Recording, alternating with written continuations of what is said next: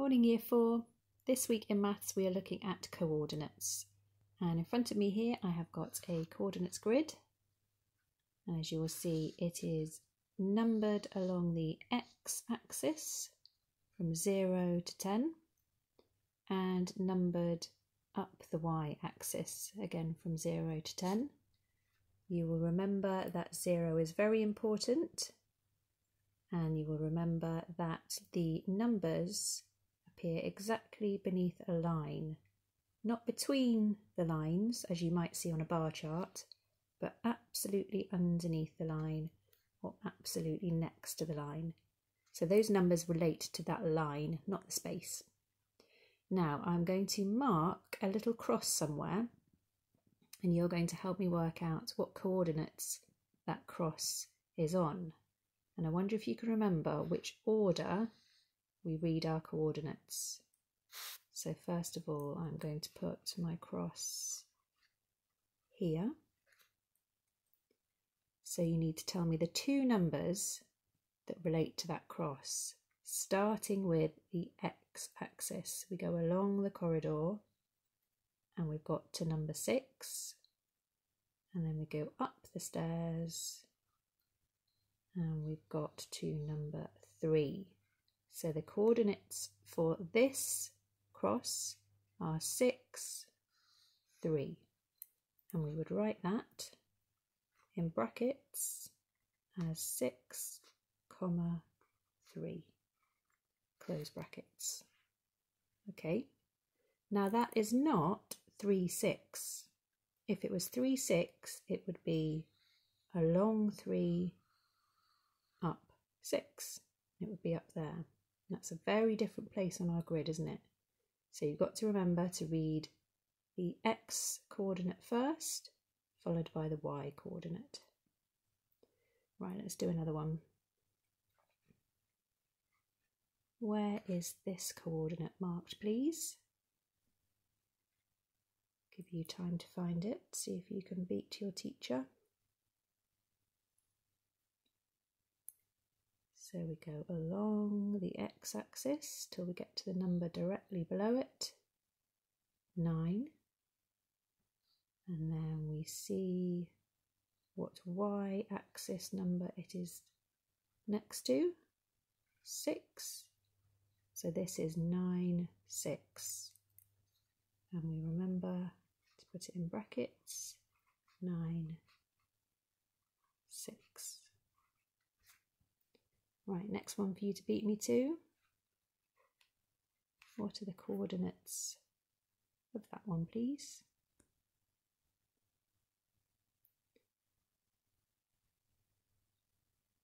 You got it?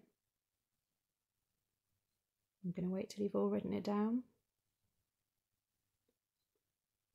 You should have written three, Next one. What are the coordinates of that cross, please?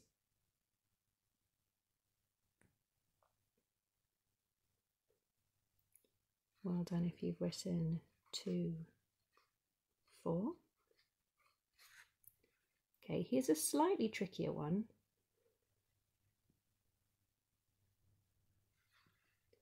What are the coordinates of that cross. Mm. So we've gone along the corridor four, but have we gone up anything? Have we even gone up one?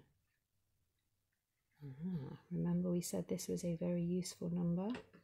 So we've gone along the corridor four and up zero. Four, zero. So another tricky one like that. Write down the coordinates of that one, please. Well done. Eight, zero. So what about this one? What if I was to put my cross here? Remember, we need to go along the x-axis first, if we can, before we go up the y-axis.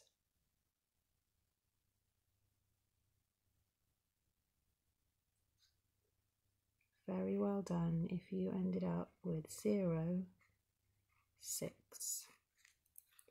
We went along nothing to be underneath that one, just 0. But we went up 6. So 0, 6. Okay, so that's coordinates. Now, a fun little game I would like you to try once you've had a go at those and by the way, I'll put this grid on our year three, four web page, but you can make your own in your book. It's just using the squares of your book and numbering them properly. But I'll put this as a PDF on our web page. Here's a little game that you can play called Battleships. You do need somebody else to play with this with. It's a bit boring on your own. And you each need a grid and you need to keep them secret from each other at first. So mine are next to each other, which wouldn't work in my game with my imaginary friend. But let's say this was my grid. Myself and my partner would decide on what size battleships we were going to allow each other to have. For example, in my game, I'm going to say we can have one single square battleship. So I'm going to draw one of those on. We can have three double square battleships. So I'm going to go with one there, two. This one's going off in a different direction. That was not a good straight line. You can use a ruler if you've got one. So I said we'd have three doubles. I'm going to put a sneaky one up here. And then I'm going to say we can have two triples. So that's one of my triple square battleships. Here's another of my triple square. And I think we're going to say we can have one four square, quadruple square. I'm going to put mine here. Now, my partner will have done the same on their grid. So they will have given themselves one single square, two double squares, but I don't know where they put theirs and they don't know where I've put mine. Okay, so you've done that in secret, but you've agreed the same number of squares that you're going to use. You then take it in turns to call out a coordinate to try to hit your partner's battleships. So, for example, my imaginary partner, let's call them Bob. Bob says 3 2. He wants to try to see if I've got anything on 3 2. Remember, he can't see mine. So I say 3 2 miss. He's missed it. And on his grid, he might mark 3 2 himself and think, right, well, I've tried that, there was nothing there. Then I take a turn to try and get one of his, and I would hit or miss his. Then it's his turn again. What if now he says 8 2? 8 2. Oh, he's hit me. So I have to say hit. And he thinks, ah, right, hit, right. He then thinks, hmm, have I hit a single square or a double square? And he might try more coordinates in that same area to try and get all of my battleship. So he might say, hmm, 9 2. And I'd have to say hit. And then he might say 10 2. I might say, haha, miss. But then he might say 7 2, hit. Then he might really get clever and say 7 3 hit. Now, all the way on his, he's been keeping an eye of where mine are. So he's thinking, ah, I know how to make that into a full rectangle now. He's going to say 8 3, hit, 9 3, hit. And then I'd say hit and sink because he's got all of that ship. Now, remember, we've been taking it in turns. So I might have hit and sunk one of his battleships by now, hopefully. Okay, I hope that game made sense. It's a bit tricky to try and, try and explain two players' uh, gameplay whilst there's only one of me here. But there's all sorts of fun things you can do with coordinates. You can make a treasure map and try and work out where the hidden treasure is.